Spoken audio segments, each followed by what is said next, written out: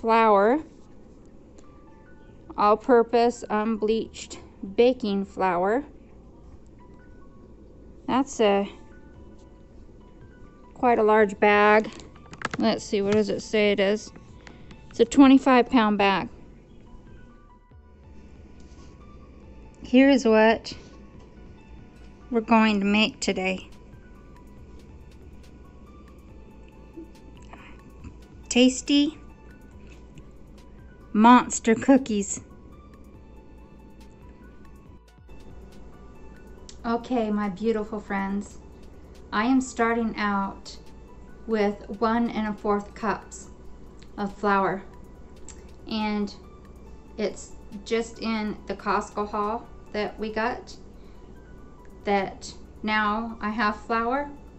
I can make these cookies. So I'm excited. Got the bowl and got the flour right here. Gotta get one and a fourth cups of flour into the bowl. I'm gonna use the one cup and grab some flour out of the bag. Make sure I get one cup in there. It's not quite one cup because I don't want to go over, but I don't want to go under. There we go. Okay. And now we need the fourth.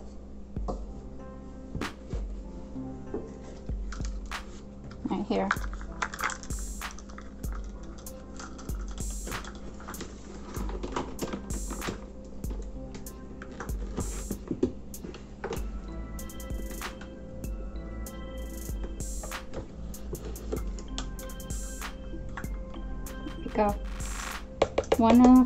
Cups flour.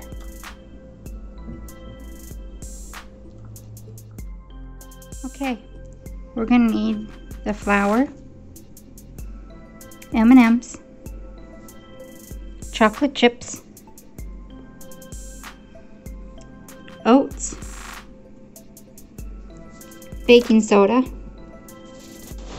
creamy peanut butter, an egg, butter, sugar, two types of sugar. We need brown sugar, regular sugar, and some vanilla. Let's get started. Okay, first off, I need to add a half a cup of packed brown sugar.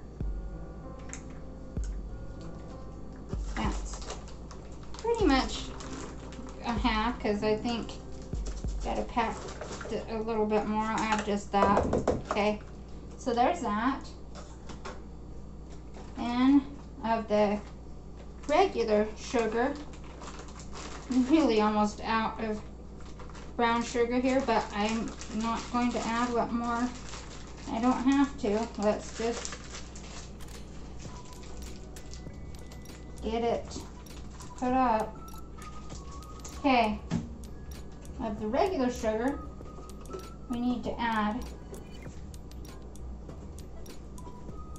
a fourth of a cup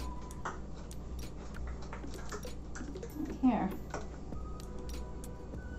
So let's get a fourth of a cup.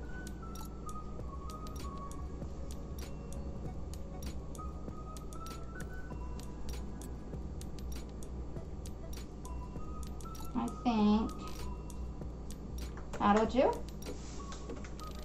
Okay, now, next, let's do some baking soda. I need a teaspoon like that. I've got my teaspoons over here. a teaspoon. Here. Okay. There we go, teaspoon. Then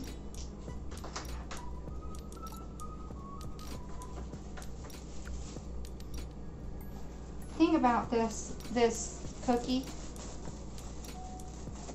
is I knew them very well when I was younger, these cookies, but haven't made them in quite a long time. And my husband says he doesn't like them. So they're probably going to end up going to the neighbors.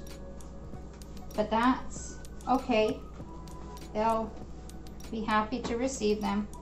I'm thinking that my husband might like it more than what he thinks. I don't know.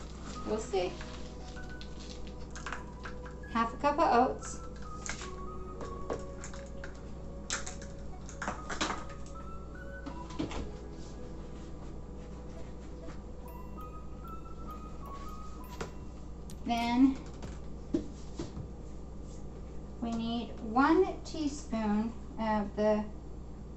Extract.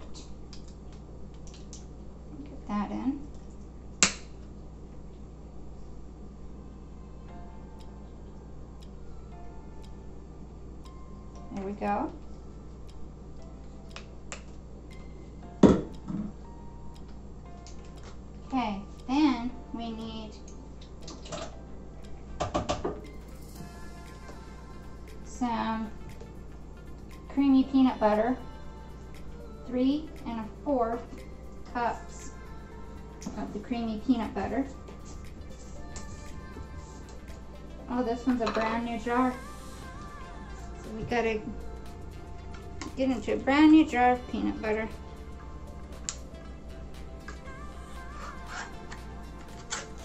Okay. Mm. Smells good. I love it when we have a brand new jar. Okay, so I need grab the fourth of a cup. I'm gonna grab three of these. So we'll do our best getting what we need into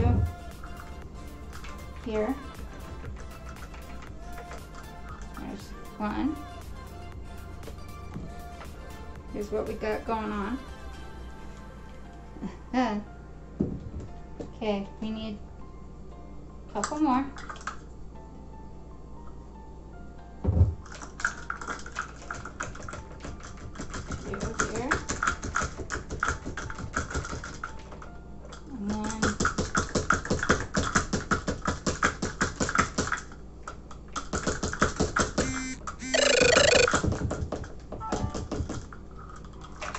grab one more. That was a good shot. That turned out to be a, one that got a an alarm. Okay, that is it for peanut butter.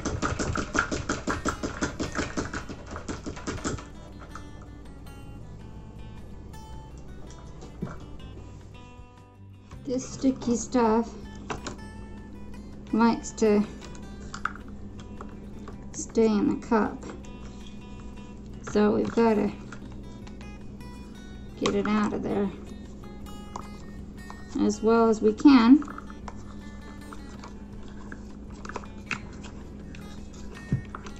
That's going to be just as well as we can do that. We'll leave it there. And let's get this mixed up a little bit. See all the ingredients.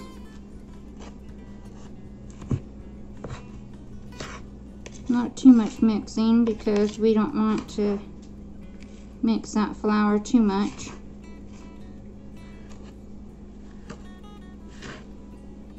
Just get everything combined. So we'll get it to about, say this point,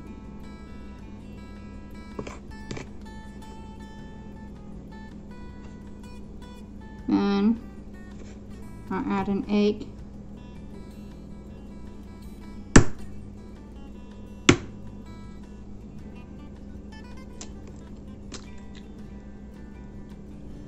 Egg.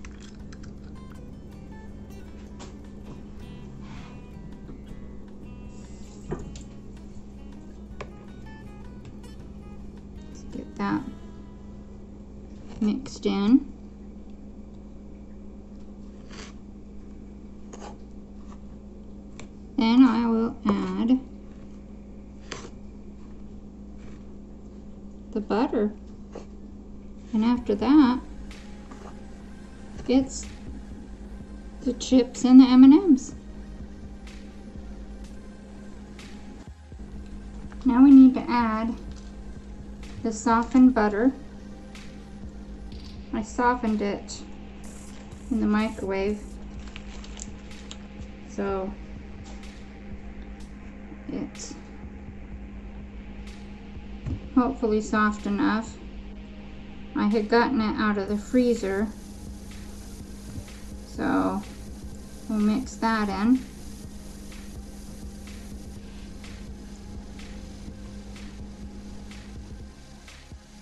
Okay, see how it's coming together?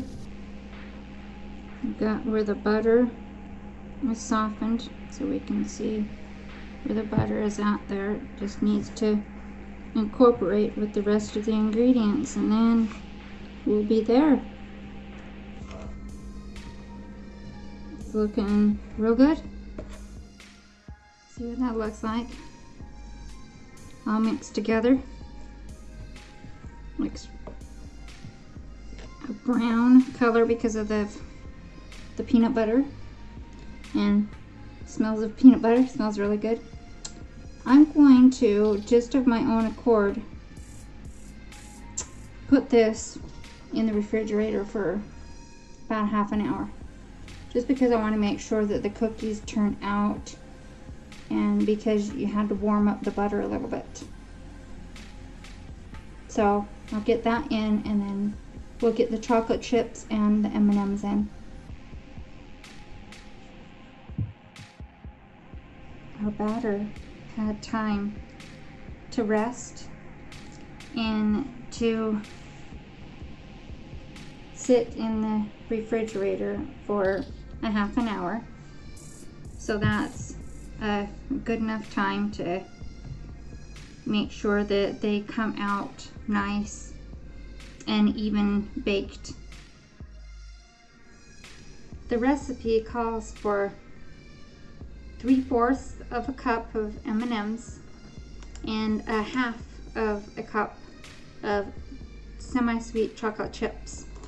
And so I've got the ingredients here and I'm going to go ahead and add in the 3 fourths of a cup of M&Ms I got this large sharing size here. Go ahead and get this. This one is a fourth of a cup I have here.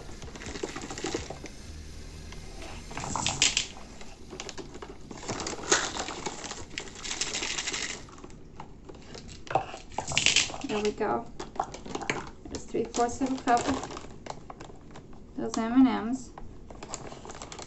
And now, get those chocolate chips in.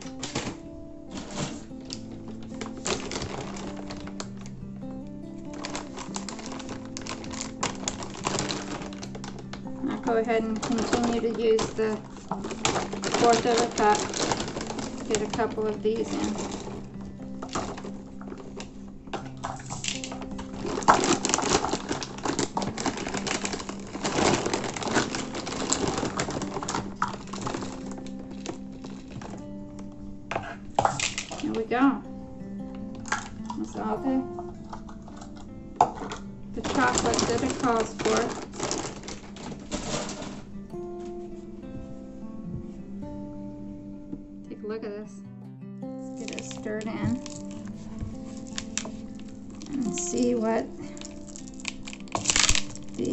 Like.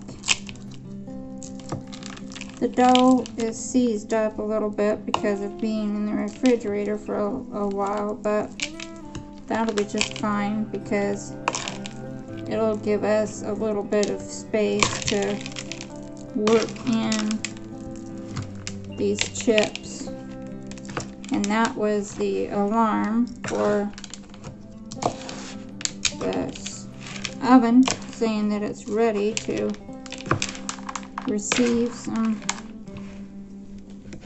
cookies to bake. It's all warmed up. So we looks like it's incorporated through quite well. Make sure that every bit gets some.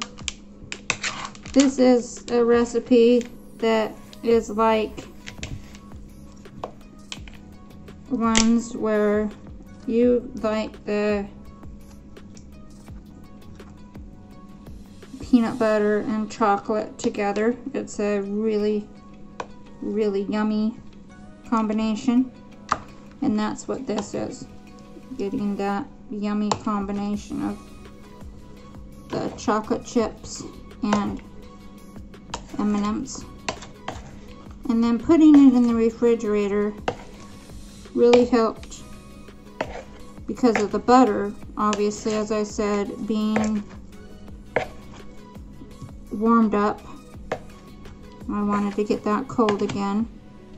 And also letting the flour rest and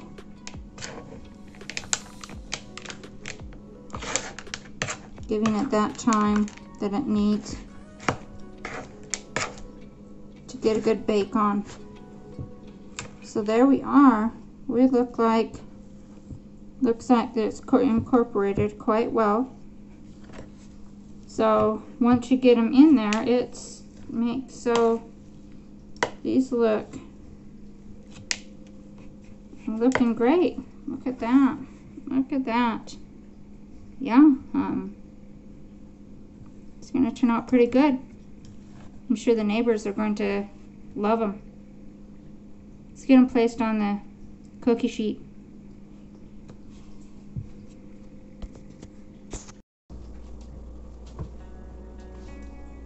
Okay, I've got the cookie scoop here. This one is just a regular size cookie scoop. And, oh, but I've got chef's taste, huh? Let's taste the dough. Want that front.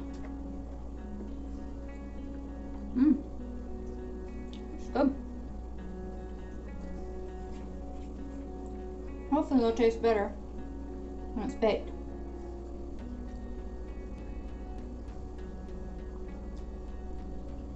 I'm thinking, before I bake these off, that needs a little salt. You never call for salt. And I always add a little salt to my dishes. So I'm going to do that.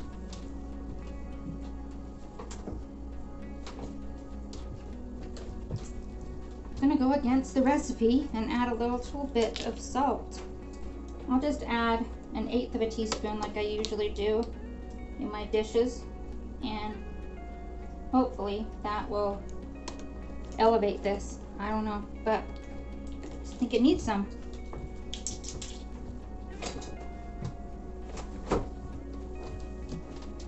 Okay, let's, let's get this mixed up again.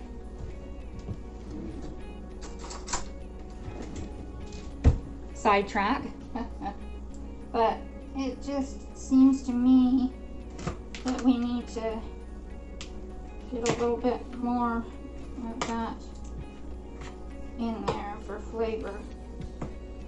Just my opinion. I'll get it all mixed in real well so that you can get that salt that I added real good in there. I just was wondering why this particular cookie wouldn't say on the ingredients of the recipe that I'm using to have some salt. I don't know. We've got it now. No worries. Hopefully that helps it out.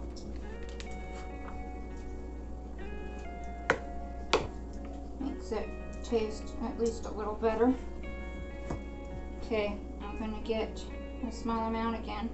I don't know if that will make it taste good at this point or wait till it's cooked, but see.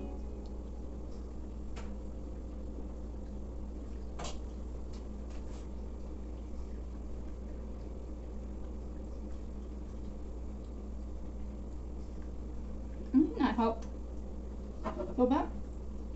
Okay, let's get started. Getting some cookie scoop made here.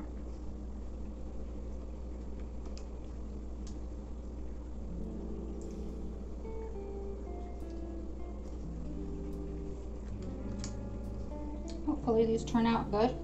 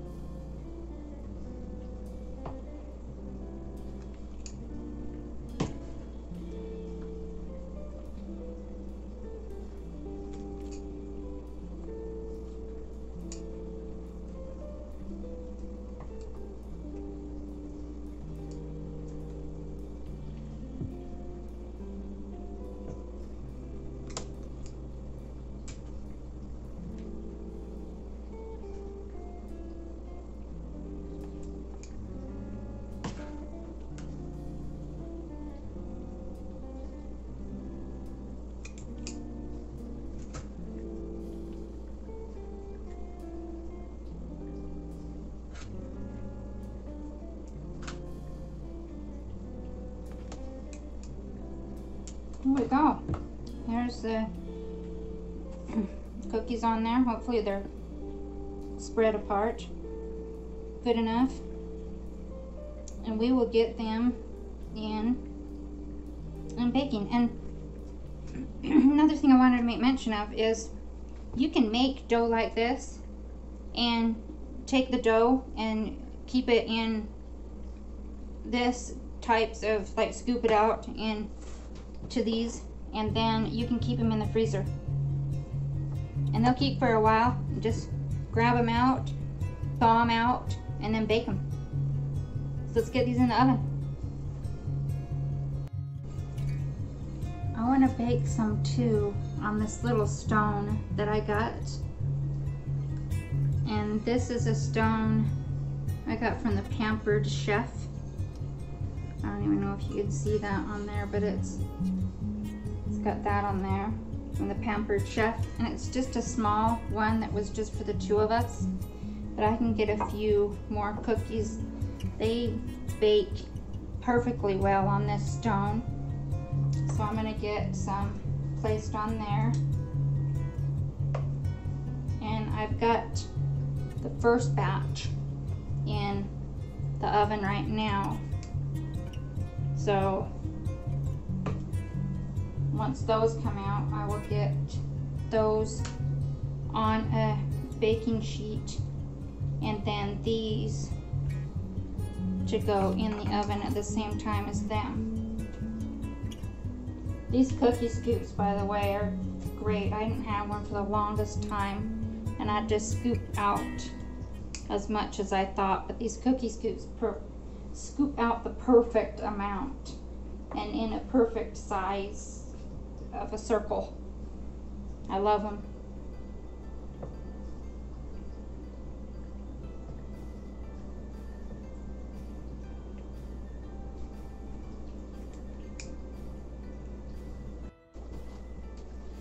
These stay pretty small. They don't spread a whole lot. So that's good. They're just a small cookie that's if depending upon what size of a cookie scoop you used and I just have a regular size cookie scoop that just makes them very small. I made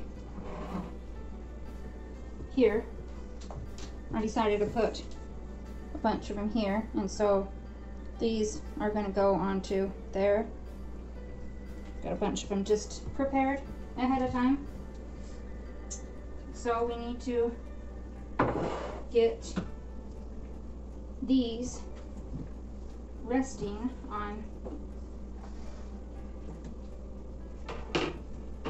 on the sheet here. And cookie sheet. Then have a taste. Okay. Let's grab the spatula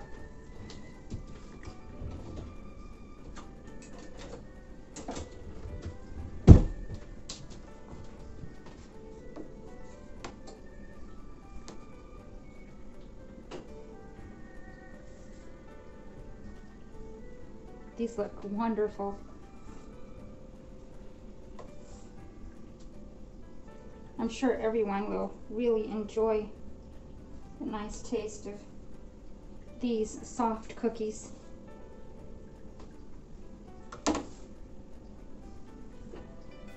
Like I said, you can make as many as you want and keep them for later on or make them all at once like I'm making them for the neighbors.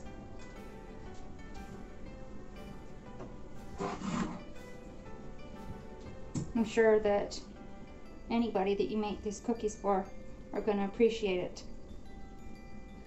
Look how easy that is once I have them made ahead of time. And then I just can just place them on the cookie sheet. Then ready for another pop in the oven of them made here just cooling on the cooling rack. I'm going to grab one and try it, see what it tastes like. I haven't, I promise I haven't tried any yet. So this will be my first time trying one of these cookies. So let's see what this is like.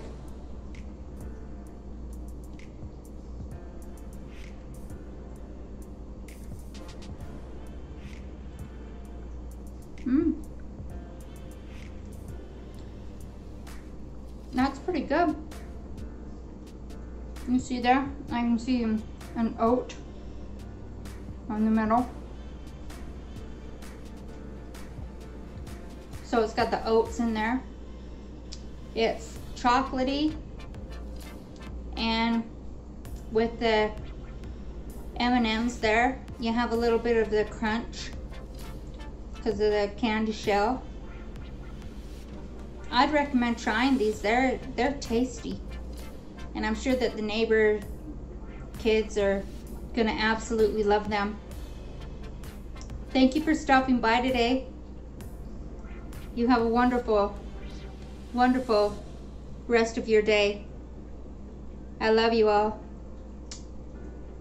Bye. Here this is all packed up for for the neighbors. Just a cute little card and a,